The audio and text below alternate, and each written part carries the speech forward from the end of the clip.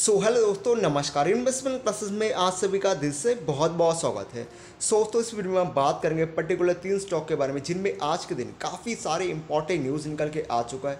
सो उन स्टॉक में से कोई भी स्टॉक आप लोगों के पास है किसी भी लेवल पे तो ये वीडियो आपके लिए बहुत ही इंपॉर्टेंट होने वाला है।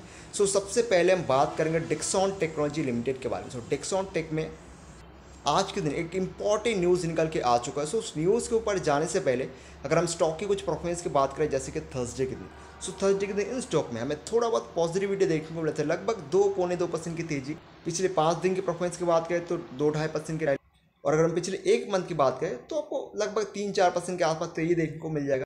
और अगर हम पिछले सिक्स मंथ की बात करें इंपॉर्टेंट चीज़ सिक्स मंथ में हमने देखोगे बहुत बड़े हमें नोज़ ड्राइव आपको गिरावट देखने को मिलेगा। और इस गिरावट के पीछे का रीज़न भी आपको पता है कि कंपनी के नंबर पिछली बार जो कंपनी ने नंबर दिखाए थे, वाकई बहुत ही खराब नंबर था। ईयरली क्वार्टरली दोनों बेसिस पे कंपनी के सेल्स में बहुत बड़े हमें डिक्लाइन देखने को मिला। उसके चलते स्टॉक में लगभग 10-12 परसेंट गिरावट होना चाहिए था, लेकिन स्टॉक में जो 20 परसेंट का सर्किट लगा था सो इसके पीछे का रीज़न कुछ और ही था कि कंपनी के मैनेजमेंट के साइड से हमें और बहुत बड़े तर्का लगते हुए देखने को मिला, जिनके चलते स्टॉक में जो सिर्फ़ दस परसेंट, बारह परसेंट गिरावट होना चाहिए था और सात परसेंट उन्हीं चीज़ों के चलते, उस कॉमेंट्री के चलते हमें वो गिरावट देखने को मिला। उसके बाद, आप देख पाएँगे, उसके बाद जो तीन हज़ार के नीचे जो स्टॉक ने क्लोजिंग दिया, पिछले तीन मंथ पहले, अब वो स्टॉक तीन हज़ार के लेवल को ब्रेक ही नहीं कर पा रहे। दो तीन बार उसने ब्रेक भी किया, लेकिन उस लेवल को वो सस्टेन नहीं कर पा रहे। सो डिक्सॉन टेक्नोलॉजी की बात करें सो डिक्सॉन टेक में एक इंपॉर्टेंट न्यूज़ हमें आते हुए देखने को मिल रहे है। और वो न्यूज़ दोस्तों कंपनी के शेयर होल्डिंग पैटर्न मैंने आपको बहुत बार बताया, किसी भी कंपनी के लिए शेयर होल्डिंग पैटर्न बहुत ही इंपॉर्टेंट रहता है, खास करके उन कंपनी के लिए जो कंपनी नंबर कंसिस्टेंसी खराब दिखा रहा है, जिन स्टॉक में टॉप लेवल से फिफ्टी परसेंट गिरावट हो और वो नंबर के चलते गिरावट हुआ। कंपनी ने नंबर खराब दिखा इसके चलते स्टॉक में गिरावट हुआ। ऐसे कंपनी के शेयर होल्डिंग पैटर्न तो बहुत ही इंपॉर्टेंट रहता है। सो so, अगर हम बात करें प्रोमोटर क्योंकि मैं आपको बहुत बार बताता हूँ कि कंपनी के प्रोमोटर ही सबसे मेन पैरामीटर होता है। इसका मतलब ये नहीं कि प्रमोटर ने थोड़ा सा स्टेक बेचा तो हम भी बेच के निकल जाए लॉस में। ऐसा नहीं बट उसको फोकस में ज़रूर रखना होता है। तो क्या प्रमोटर ने कोई चेंजेस किया? नथिंग आप ऐसा भी बोल सकते हो।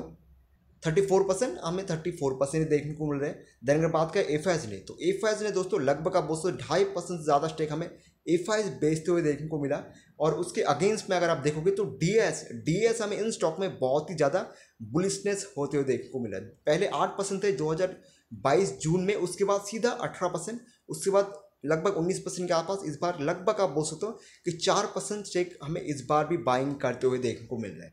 सो नो डाउट किसी भी कंपनी में अगर F I S sorry D S का अगर अच्छे खासे हमें हमें होल्डिंग देखने को मिल जाता है और लगातार वो होल्डिंग हमें इंक्रीज ही करता है। तो नो डाउट उसे सिर्फ़ पॉजिटिव पॉइंट नहीं एक बहुत बड़े पॉजिटिव पॉइंट दोस्तों कंसिडर करना होता है, क्योंकि स्टॉक जो टॉप लेवल से गिरा है फिफ्टी परसेंट और फिफ्टी परसेंट कोई दोस्तों मतलब ये टाइम पास के लिए नहीं गिरा है फिफ्टी परसेंट से भी ज़्यादा छः हज़ार दो सौ पे चलने वाले स्टॉक अभी आपको तीन हज़ार के नीचे भी ट्रेड करते हुए देखने को यानी कि ऑलमोस्ट आप बोल सकते हो कि लगभग फिफ्टी परसेंट से भी ज़्यादा, और इतनी गिरावट होने के बाद कॉन्फिडेंसली जो डीएस है, जिनमें म्यूचुअल फंड भी आ जाता है, वो लगातार इन स्टॉक में इस गिरावट का फ़ायदा उठा के बाइंग करते जा रहे हैं, करते जा रहे हैं और करते ही जा रहे हैं, जिसे हम बहुत बड़े, सिर्फ़ पॉजिटिव नहीं दोस्तों, एक बहुत बड़े पॉजिटिव पॉइंट कंसिडर कर सकते हैं। हमें एक बहुत बड़े कॉन्फिडेंस आता है कि इतनी गिरावट में ये स्टॉक हमें लॉसेस दे रहा है। क्या स्टॉक को लॉस में कंटिन्यू करना सही रहेगा?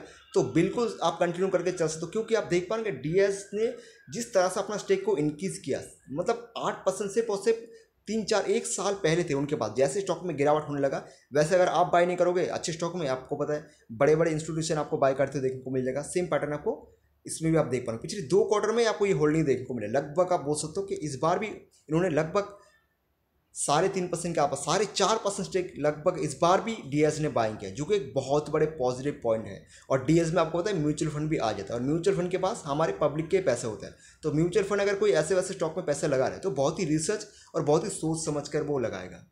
सो नो डाउट इसका मतलब ये नहीं कि जाके मैं आपको ये बोलूँ कि आप दूसरे स्टॉक से पैसे निकाल के अगर आपको लॉस हो रहा है डिस्काउंट में, जाके आप एवरेज कर लो नीचे लेवल पे। ऐसा मैं बिल्कुल भी नहीं बोल रहा हूँ कि डीएस ने बाय किया तो जाके आप भी बाय कर लो। डीएस ने एवरेज किया तो जाके आप भी एवरेज कर लो। लेकिन एक पैरामीटर होता है, किसी भी कंपनी अगर डीएस और एफएस के होल्डिंग इंक्रीज होता है तो उसे एक बहुत बड़े पॉजिटिव पॉइंट माना जाता है। क्योंकि कंपनी के बारे में अगर मैक्सिमम किसी को पता होता है तो कंपनी के ओनर यानी कि प्रोमोटर उसके बाद अगर किसी को पता होता है तो डीएस और एफ़ क्योंकि उनके पास बहुत बड़े रिसर्च टीम होता है, उनके पास बहुत ज़्यादा डेटा होता है। हम उतने रिसर्च नहीं कर पाएँगे जितना एफ़ और डीएस रिसर्च कर पाते हैं। तो वो अगर किसी स्टॉक में इन्वेस्टमेंट करता है, वो भी अच्छे खासे एग्रेसिवली और कंसिस्टेंसी तो उसे हम एक बहुत बड़े पॉजिटिव पॉइंट कंसिडर करते हैं। और हाल ही में आपने एक न्यूज़ भी देखा होगा, शायद जनवरी मंथ में ये न्यूज़ आया था कि आने वाले टाइम में एक्सपेक्ट करके चल रहे हैं कि आप देख पाएँगे, एक लाख करोड़ के आसपास हमें ये मोबाइल एक्सपोर्ट करते हुए देखने को मिल जाएगा तो नो डाउट आपको पता है इंडिया में अगर कोई लार्जेस्ट मोबाइल मैन्युफैक्चर कंपनी है, मैं स्टॉक मार्केट की लिस्टिंग हिसाब से बात करूँ तो हमें डिस्काउंट टेक्नोलॉजी देखने को मिल जाता है। नो डाउट एलईडी भी इनके मेन कोर बिज़नेस है, कौन सेगमेंट है, और भी सीसीटीवी डीवीआरजी और भी बहुत सारी चीज़ों में हम इसके योगदान देखने को मिल जाते हैं। लेकिन स्मार्ट स्मार्टफ़ोन की अगर हम बात करें तो इसमें हमें एक अच्छे खासे इस कंपनी के योगदान देखने को मिल जाते हैं। लेकिन पिछली बार जो कंपनी ने नंबर दिखाया बाकी बहुत ही ख़राब नंबर था और मेरी बताने से कुछ नहीं होगा दोस्तों, आपने देखा भी होगा किस तरह से बाज़ार ने उसको नेगेटिव में साइड ने अप्रिशिएट किया, आप देख पाएँगे। तीन हज़ार आठ सौ में चलने वाले शेष चौबीस सौ तक आते हुए देखने को मिला। यारली क्वार्टरली दोनों में से डाउनफॉल देखने को मिला। क्या इस बार कंपनी के नंबर में थोड़ा बहुत कम बैक आएगा? कि कंपनी दोबारा से अपना जो तीन हज़ार के लेवल है, क्या उसको अचीव कर पाएगा? क्योंकि अगर कंपनी को ईयरली बेसिस परफॉर्मेंस दिखाने तो एटलीस्ट उसको तीन हज़ार के ऊपर तो सेल्स दिखाने पड़ेंगे। तभी जाके कंपनी एक अच्छे खासे डिसेंट नंबर उसको माना जाएगा। बाज़ार भी उस नंबर को अप्रिशिएट कर कर सकता है तेज़ी के साइड में। तो प्लीज़ इस बार के नंबर आप ज़रूर फोकस में रखना। और जिन्होंने टॉप पे बाई किया, उनके सिर्फ़ इतना ही कहना चाहूँगा, सिर्फ़ होल्ड करो और कंटिन्यू जिन्होंने यहाँ पे भी बाई किया, पाँच सौ का स्टॉक स्टॉक ढाई सौ तक आया था और तीन साल कोई भी रिटर्न नहीं दिया था। Negative return thirty forty percent के।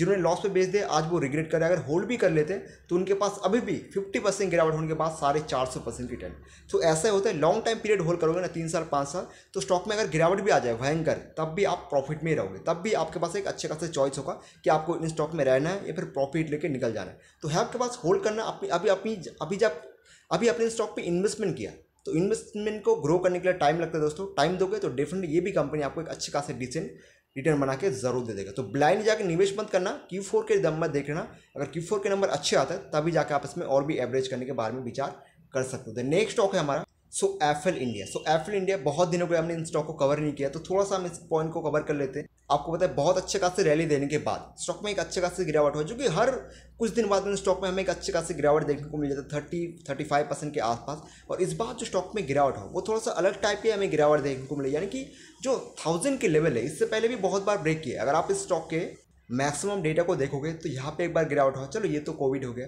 नॉर्मल गिरावट, एक बार, दो बार, अब तीन बार।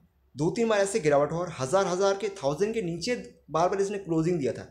लेकिन ज़्यादा देर तक स्टॉक नीचे रहा नहीं, उसके बाद सडनली सिर्फ़ और सिर्फ़ कुछ ही दिनों के अंदर मंथ नहीं, कुछ दिनों के अंदर ही स्टॉक ने कम बैक किया और एक ऑल टाइम हाई अचीव किया, जब भी स्टॉक में एक अच्छे खासा गिरावट हो। और इस बार जो स्टॉक ने ब्रेकआउट दिया, वो थाउज़ेंड के नीचे और उसके नीचे काफ़ी टाइम से हमें क्लोज मतलब सस्टेन भी करते हुए देखने को जो कि ये चांसेस है अगर कंपनी के नंबर इस बार थोड़ा सा खराब आता है, बाजी के हिसाब से नहीं आता है तो नो डाउट इतना रिटर्न दिया चार चार साल में। तो स्टॉक थर्टी फाइव परसेंट गिरावट हुआ तो इसका मतलब ये नहीं कि और नहीं गिर सकता। स्टॉक साढ़े आठ सौ तक भी आते हुए आपको देखने को मिल सकता है, जो कि मैंने आपको पहले ही बता चुका हूँ।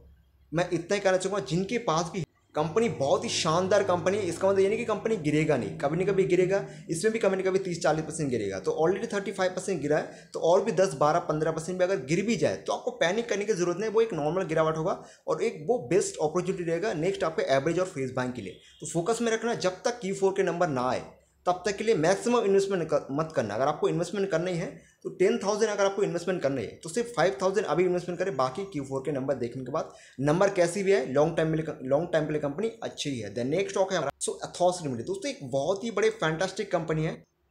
जब से ये कंपनी लिस्टिंग हुआ 2022 जून में, एक साल भी नहीं हुआ कंपनी को अब बोल सकते हो एक फ्लैट ही परफॉर्मेंस चाहता है ऐसा बोल सकते हो लेकिन सबसे इंपॉर्टेंट चीज़, हज़ार के लेवल पे स्टॉक में ट्रेड करते हुए देखने को मिले कंपनी तीन मंथ के बीच में कंपनी पिछली बार क्वार्टर थ्री में अच्छे नंबर दिखाए, उसके बाद कंपनी ने दो न्यू बायोटिक हमें ओपन करते देखने को मिला एक उड़ीसा में और एक सिलीगुड़ी में। साथ साथ शेयर होल्डिंग पैटर्न में अगर आप देखोगे तो डीएस ने अपना स्टेक इंक्रीज और इंक्रीज करते हुए देखने को मिलता शायद से कंपनी के इस बार के नंबर अच्छे आपको आते देखने को मिल सकते तो ब्लाइंड जाके निवेश मत करना नंबर देखना, अगर नंबर अच्छे आते हैं तो छोटा सा क्वांटिटी आप इनमें फ्रीज बैंक करने के बारे में विचार कर सकते हो, क्योंकि कंपनी बहुत ही रिस्की है। देन नेक्स्ट स्टॉक है हमारा। सो वीडियो तो डाउट है कमेंट सेक्शन में पूछ सकते हो, मिलते ऐसे ही इंटरेस्टिंग वीडियो के साथ, तब तक के लिए बाय